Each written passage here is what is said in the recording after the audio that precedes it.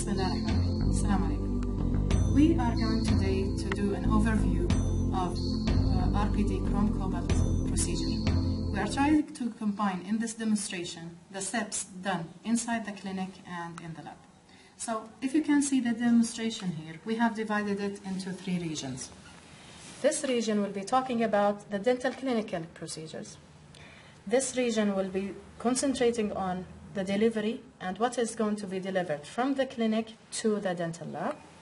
And the procedures that will be described here will be done by the dental technician.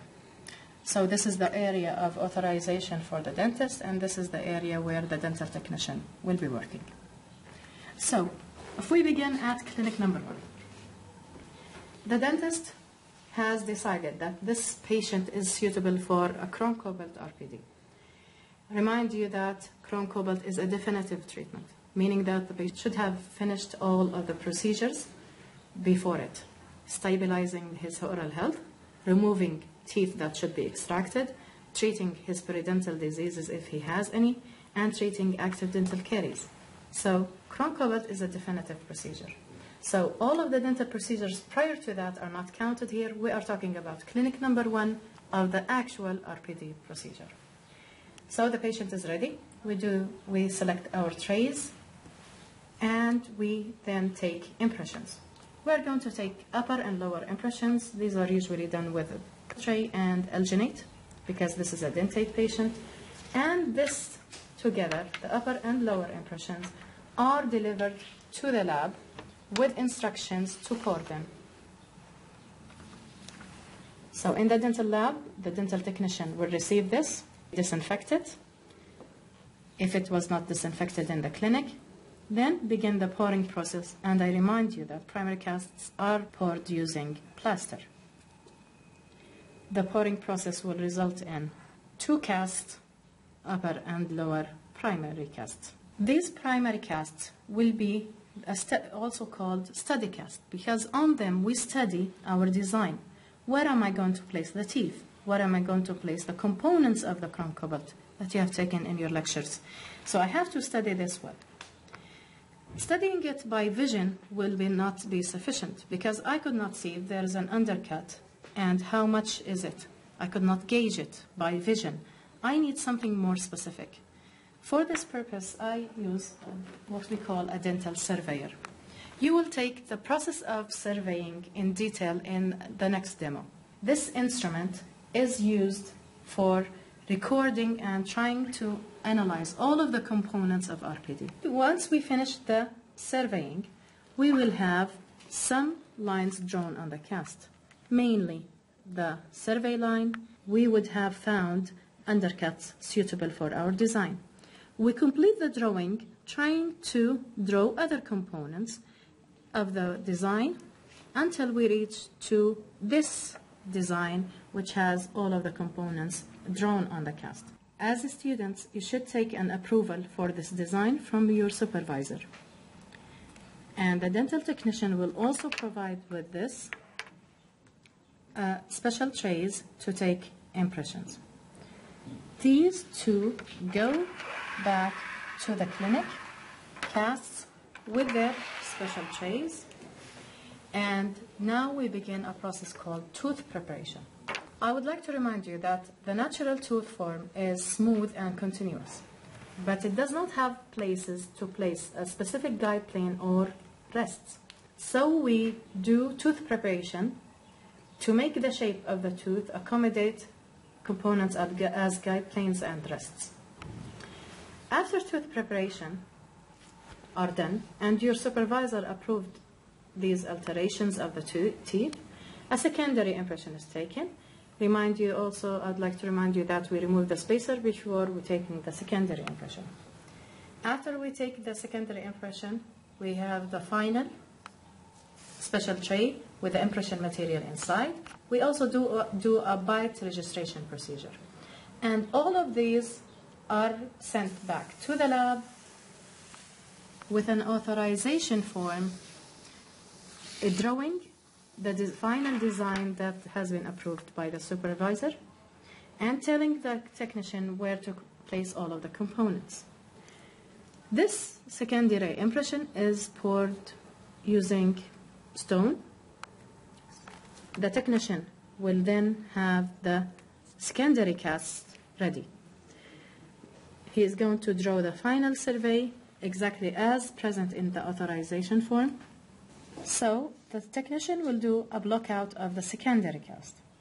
The blockout procedure will be described in further detail later, but the idea is to prepare the cast in a way that would follow the principles of metal framework design. So we need to do what we call a duplication. This is the secondary cast with the blockout material on it. And we need to place metal over it. So this material does not stand metal. Stone does not stand the temperature of the casting machine. So we need to use another material. We need to use another material that could stand the temperature of this process. And it's called refractory material. So how do I change this to this? I need a process called duplication. By duplication, what do I do? I simply take out the cast, put it inside this flask, and close it, and then pour over it a duplication uh, material. This material is usually made of agar or silicon. Silicon is more accurate. Silicon comes in two containers as in a liquid form. The material from these containers are mixed according to the manufacturer instruction. And once they are mixed, they are poured inside the flask. Once we it's set, we will get this where the cast is present and we take it out and we will have this mold, this empty mold. This empty mold now is ready to be used as a form for pouring in the refractory material. The refractory material is another material, powder and liquid, mixed together.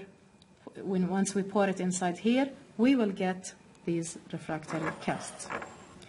The main property of the refractory material that it withstands high temperature and it will compensate for the expansion on, and contraction of metal during the cooling process. Please review your dental material lectures and read your dental material chapters about refractory material. After finishing the constructing the refractory cast, now they are ready for the step we call wax up. The wax up is done using wax patterns. These wax patterns come ready and they are in the same shape that we want our final metal framework to have. As you can see, they come in colors, they have different shapes, but if I look at them, they closely, they have specific measurements that I need to incorporate in my metal framework. These wax patterns are then transformed into metal using the process of casting. It's a, it's a process that contains multiple steps, so let us take them one by one. This metal framework is then attached to what we call sprues. This, these sprues later on will be attached to a funnel.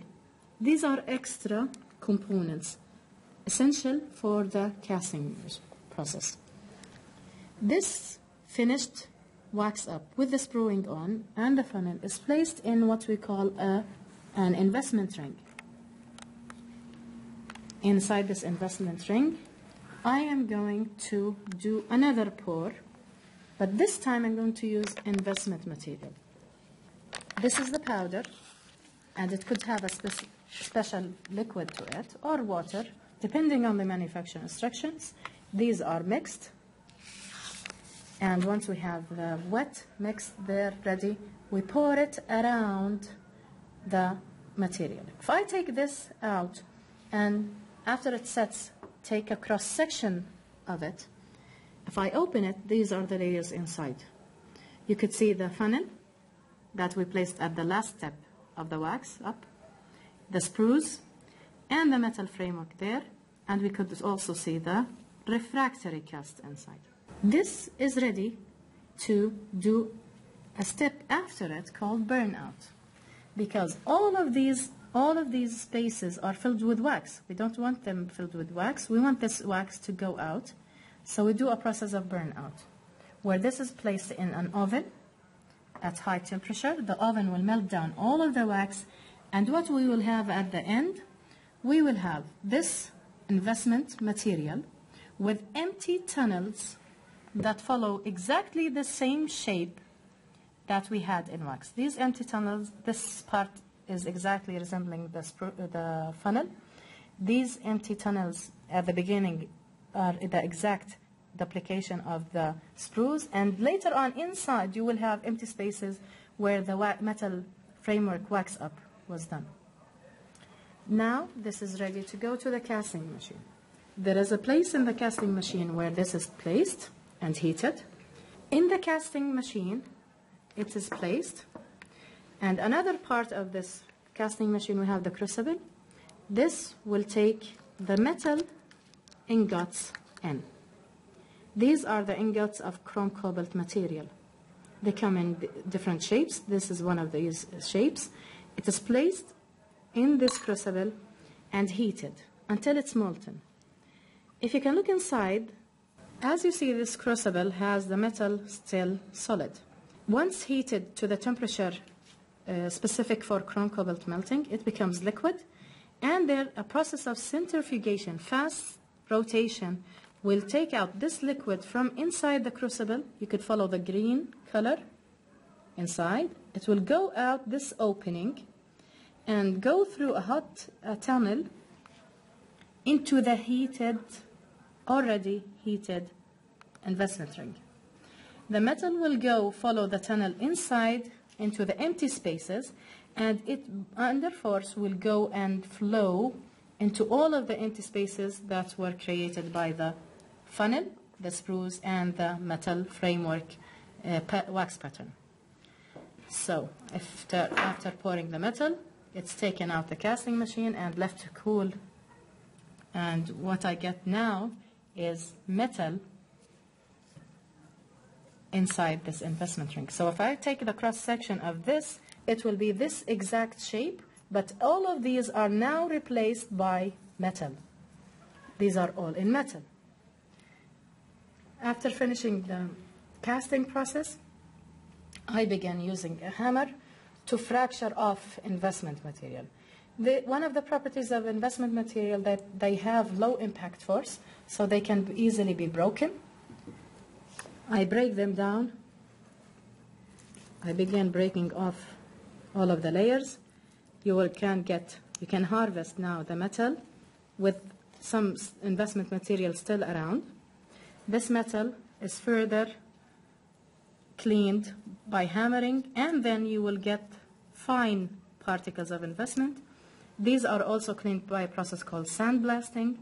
And finally, I get the metal framework that was embedded inside this investment material, now free from all investment material. So see how the metal took the shape of the funnel, the sprues, and the metal framework that was made previously in wax. To finish this off, remember that these are not components that I'm going to place inside the patient's mouth, so we need to cut them off. We begin by cutting by specific discs. We begin cutting them. After cutting, we begin finishing them until they become totally smooth. And the metal is polished. This metal framework is now ready to go to the clinic. So the dentist receives this metal framework and puts it inside the patient's mouth and tries it in, then takes a bite. The bite registration tells us where to place the occlusal plane of teeth that we're going to select.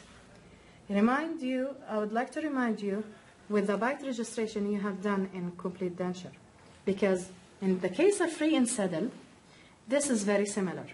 So we do the wax blocks according to the instructions you have taken in the, your lab. We are going to do the same clinical steps that we're going to do in the clinic. But for the bounded saddle area, we simply place a, block of wax and tell the patient to bite on it. This is called bite record. We also select the shade for the teeth we intend to use. So we do a shade selection. We write down the authorization form containing all of the information about the teeth that we would like to choose, their shape, their shade, their size, and this is all sent back to the lab, authorizing them to finish off the acrylic. In lab 3, we will have received these, and the technician will take these metal framework, for example, and using our record, will begin placing teeth. Once the teeth are in, in there, now we call that a metal try-in denture. It has the wax, teeth, and the acrylic. These are the acrylic teeth that will be in your denture later on. These are ready now to be sent back to the clinic. And the doctor has the denture there, partial denture there. He places it, places it inside the patient's mouth. He tries it in. He makes sure the wax shape is suitable for the patient. He makes sure that all of the components of the RPD are engaging in their place. Make sure the occlusion is correct. The boundaries of the, RPD are all correct. And sends them back with an authorization to do and complete the acryl.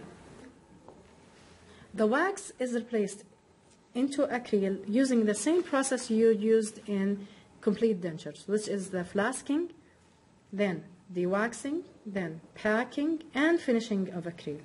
After packing and uh, curing the acryl, once we take it out of the flask, we take, after deflasking, we will find that the acryl is rough. You will have some edges. These all should be finished.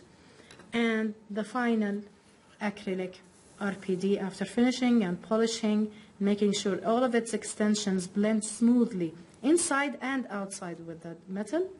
These are sent back now to clinic number five, where the dentist is ready to deliver this RPD and I hope your patient goes out happily and they might come in later on for a recall visit if they ha have any complaints to be treated uh, on spot, similar to complete denture procedure. Thank you.